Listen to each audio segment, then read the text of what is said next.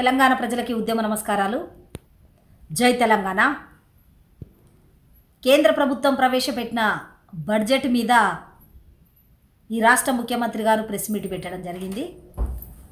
ఆ ప్రెస్ మీట్లో రాష్ట్ర ముఖ్యమంత్రి గారు బీజేపీని టార్గెట్ చేస్తూ ప్రెస్ మీట్ పెట్టడం జరిగింది. వాస్తవానికి ఈ రాష్ట్ర ముఖ్యమంత్రి గారి మైండ్ పనిచేస్తలేదు. హుజురాబాద్ ఎన్నికల తర్వాత.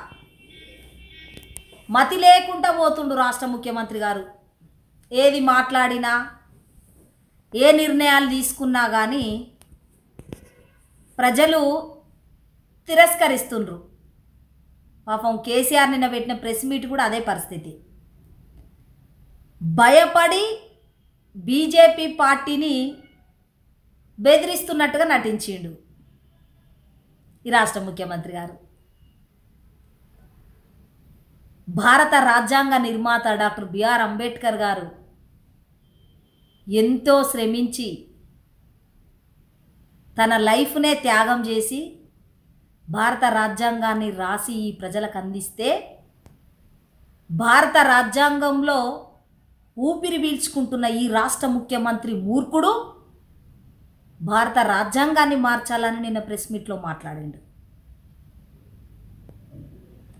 ఈ రాష్ట్ర ముఖ్యమంత్రి ప్రమాణం చేసింది భారత రాజ్యాంగం డాక్టర్ బిఆర్ అంబేద్కర్ గారు రాసిన రాజ్యాంగంలే కదా ప్రమాణం చేసింది. ప్రజలారా ప్రజాస్వామికవాదులారా మేధావుల్లారా ఆలోచన చేయండి. భారత రాజ్యాంగాన్ని మారుస్తానన్నాడు. ఈ రాష్ట్ర ముఖ్యమంత్రి. అసలు నువ్వెంత భారతదేశంలో? నీ ఎంపీలు ఎంతమంది? తోక కాదు ఇక కాదు తిప్పి తిప్పి కొడితే తొమ్మిది మంది లేరు.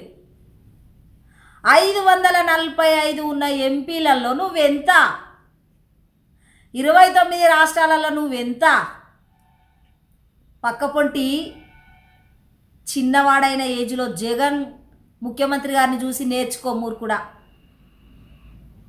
కేంద్ర ప్రభుత్వం దగ్గర పోయి తెలంగాణ ప్రజలకు ఏమి కావాలో మంచి మాటతో తీసుకొచ్చుకో.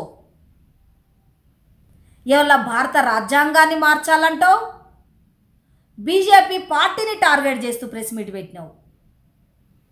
అసలు భారత రాజ్యాంగం మీద డాక్టర్ బిఆర్ అంబేద్కర్ గారి మీద నీ కడుపులో ఎంత ఈర్ష్య ఉందో